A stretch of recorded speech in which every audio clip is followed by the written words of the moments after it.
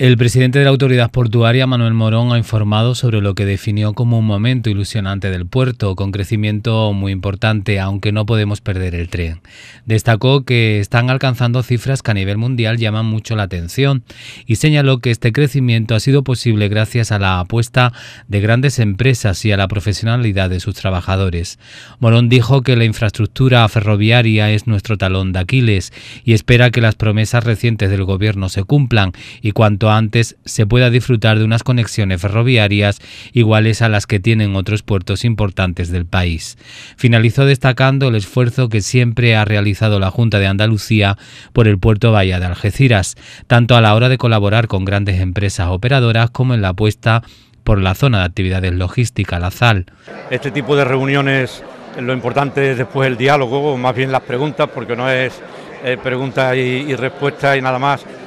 pero yo voy a aprovechar para hablar de, los retos que yo creo que son en este momento más importantes para, nuestro puerto. Es un momento eh, ilusionante el que estamos viviendo, con unos crecimientos muy importantes y no podemos perder esa oportunidad, no podemos perder el tren y en este caso dicho con doble sentido y de todo eso yo creo que conviene hablar en este foro tan, tan importante. Así es, ya parece que no nos sorprenden, pero son cifras que a nivel mundial llaman mucho la atención porque el puerto está batiendo récords de forma permanente gracias pues a la apuesta que hacen estas empresas por nuestro puerto y también a la profesionalidad de nuestros trabajadores. Ese es el talón de Aquiles y yo espero que las promesas recientes que se han hecho se cumplan y cuanto antes podamos disfrutar de unas conexiones ferroviarias igual que tienen otros puertos también de gran importancia que hay en nuestro país. el puerto, como saben, tiene autonomía de gestión y autonomía financiera y la Junta de Andalucía siempre ha respetado esa autonomía y lo único que podemos agradecerle es la gran colaboración que siempre ha prestado con estas empresas, por ejemplo con Hanjin, con MERS, la apuesta grande que ha hecho también por los temas logísticos, con las inversiones importantes que han hecho en la SAL, por tanto ninguna queja con respecto a la Junta, yo creo que todo seguirá igual.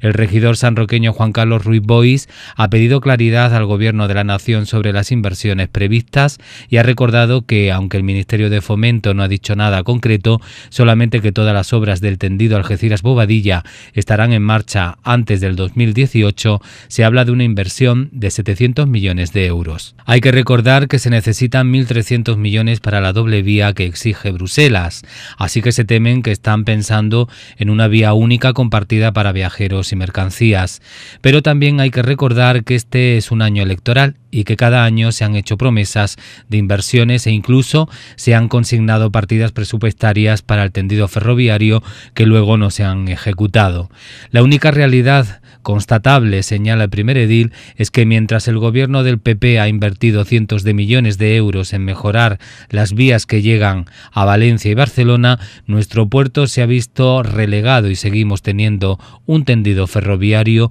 propio de principios del siglo XX. Para el alcalde es muy importante que todos los agentes interesados en la mejora de las infraestructuras comarcales asistan a encuentros como el de este martes. El puerto Bahía de Algeciras es una pieza fundamental en el desarrollo económico del campo de Gibraltar y toda información sobre su marcha y sobre las perspectivas de futuro es para Ruiz Boys bien acogida. Los desayunos informativos, grandes retos del puerto Bahía de Algeciras, han sido organizados por el grupo Yolí con el patrocinio del Banco Santander.